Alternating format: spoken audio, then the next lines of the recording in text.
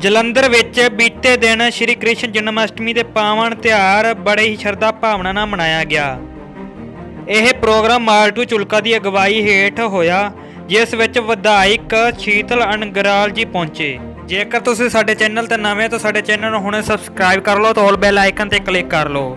ਜੇਕਰ ਤੁਸੀਂ Facebook page ਤੇ ਹੋ ਤਾਂ ਫੇਸਬੁੱਕ ਪੇਜ ਨੂੰ ਫੋਲੋ ਐਂਡ ਲਾਈਕ ਜ਼ਰੂਰ ਕਰਿਓ। ਬਣੇ ਰਹੋ ਸਾਡੇ ਨਾਲ, ਦੇਖਦੇ ਰਹੋ ਸਾਡਾ ਚੈਨਲ।